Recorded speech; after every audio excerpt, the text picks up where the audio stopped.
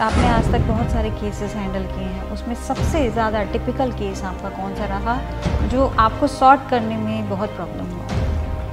देखिए केसेस तो बहुत टिपिकल टफ और दिक्कत वाला जो था वो शिव प्रकाश शुक्ला का ही था जी। जिससे शुरुआत हुई। बबलू श्रीवास्तव का जो उसके गैंग मेंबर्स के साथ एनकाउंटर हुआ वहाँ कलकत्ता में वो भी बहुत टफ था। बड़ी मुश्किल से हम लोग वहाँ तक पहुँचे थे और आखिर गोली चली गई थी।